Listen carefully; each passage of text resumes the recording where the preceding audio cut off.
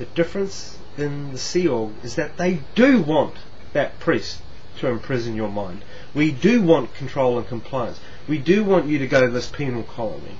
We do want to assign you conditions. We do want to put a head on a pike each week and RPF somebody and hurt them. We do. This is our policy. And they're lying because the church, the Catholic Church says, this is the Bible. It's happy if you preach the Bible. But in Scientology, the creed, you may not apply the creed and you may not apply the tech when you're a member of the Sea Org. You cannot because the policies clearly contradict everything that Scientology stands for. And that is a fraud. It's a lie. And the fact that you can have these people do this to other human beings and not consider consequence like I did is proof enough that there is something intrinsically and wrong in the systemic creation of the organization in the first place. Got it. How could I do these things? How could I ask a woman to kill an unborn baby? How could I take this woman and send her away from her child and send her to Europe for two years and not allow any phone calls back to their family? How did I take all these people in the Hollywood Guaranty building and tell them family time is cancelled because you're a down statistic? This is the very church that preaches family values, that breeds, that talks about creation of a great society. Oh, I'm sorry. You must be you must be talking about something else because I haven't seen it. And every Sea Org member, I I know a great idea right now. Get every Sea Org member in the world right now to do an affidavit about how they feel about it. Go check on them in ten years. I guarantee you, 80% of them will have left and have been declared. Yep. I guarantee it. I'll stake my life on it. I was one of those. Because I would have fought you to the hell come home. I disconnected even from my own family to be the best messenger I could be. I sent my own brother to the rehabilitation force into the penal colony for having thoughts and for having touched a woman. Now, if that's not a monster, then please tell me what is. Got it. Hey, thanks, matey. Thanks for listening. Not a lot of people do. No. Good to have the info. I'd like some other people to come forward. I'd like some other people that were in positions similar to mine to admit that we just weren't victims. We did things. We did ask for those things to be done to other staff, and we did them. Got it. And be responsible for their actions, even if it means admitting that they were monsters. Because deep down, none of us were. We thought we were doing something right. And you were part of that machine. Yeah. Created loved by the machine. I was created by the machine and then I went off to create more. And I'm really sorry to those people that I got in there and I created them. Because I've run into a couple in the field after I've left and I'm saddened to see how they've turned out as human beings. Because there's almost nothing human left in them.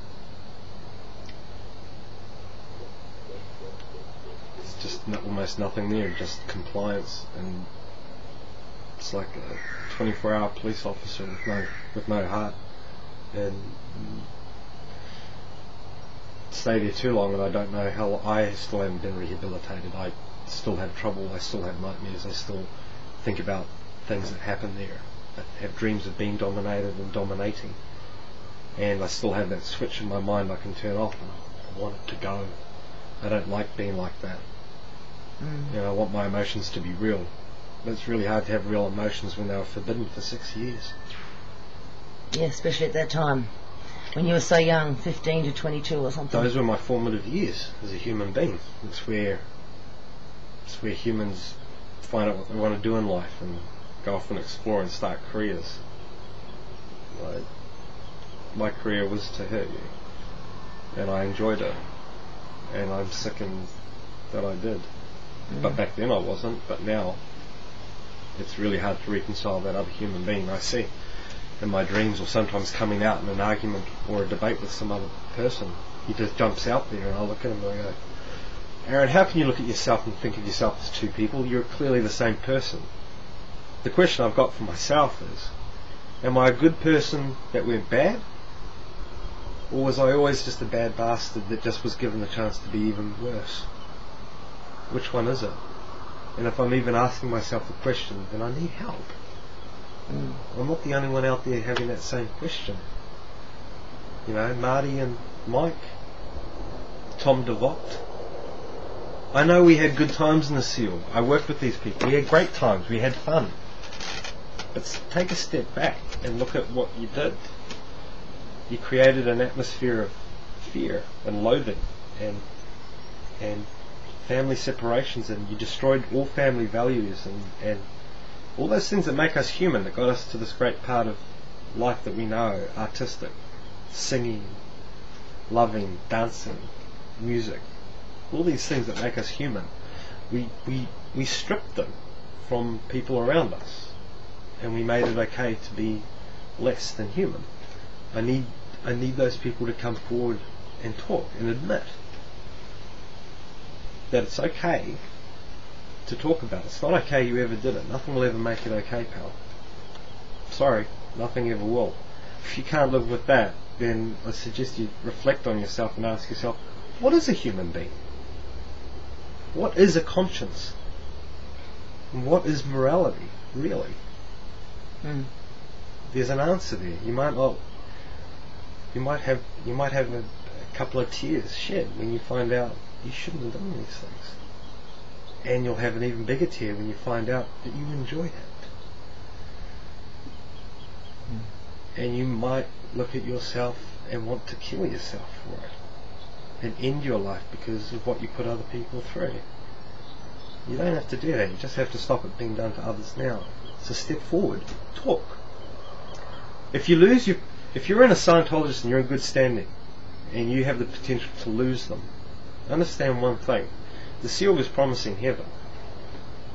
When in reality we're all going to hell according to them. And all your mates will be there. If you have to disconnect now to make your stand and be heard, then do it. One day, down the road, your friends will come and join you again. Because we're all on the same side of the fence. It's just someone else telling you that we're not. Got it. Hey, mate, thanks for your honesty. Alright, thank you. Cheers.